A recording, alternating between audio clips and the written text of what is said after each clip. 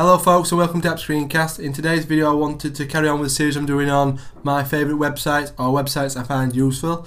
Now today's website is UK only I'm afraid, but it's a great service which I just wanted to recommend to all the UK viewers.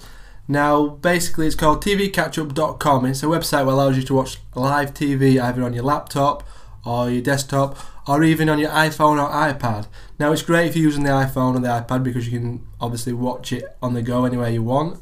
Um, on the laptop, very useful too as well. So it's like having a second TV in your house or in your room. Now, I'll show you all the channels what are available.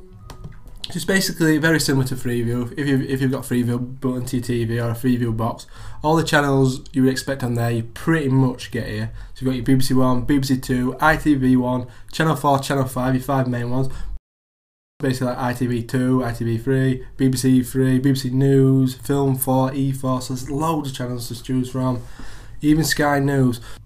So it's a great service basically, so you'll never miss any of your favourite TV shows. So you can watch it X Factor on here, Match of Day, live Champions League football, things like that. It all streams over the internet. Basically, what you can get on your TV, you can get here.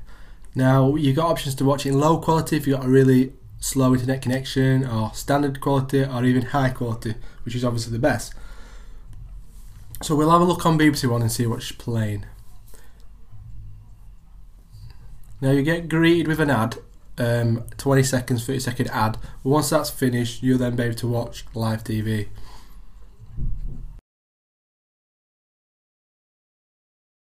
So the ad is finished there, and now we can watch live TV. So we're watching BBC One at minute, and we've got options here to making the screen bigger if needs be and we can watch it in full screen. Now I'm watching this on standard quality so quality is acceptable it's watchable. Um, if I weren't happy with that quality I could go up to ha the high quality which would be in a lot crisper picture. If it was start to stutter and that and it weren't um, playing properly I could then drop it down to low quality. Now I'm not going to show you no more of this but basically that's BBC One playing.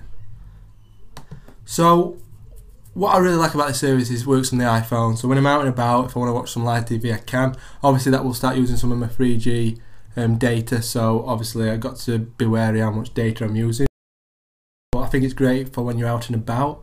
And obviously, it's just good to have in background playing if you want to keep the news on or whatever, or the football on. You can have it on in the background while you're browsing the web and doing things on your computer even. So it's a great service. And I just wanted to recommend it for people who perhaps don't know about it. So thanks for watching this video. If you liked it, then please subscribe and like because it's always appreciated. Also, you can follow me on Twitter at twitter.com slash appscreencast. So thanks for watching and I'll see you later. Goodbye.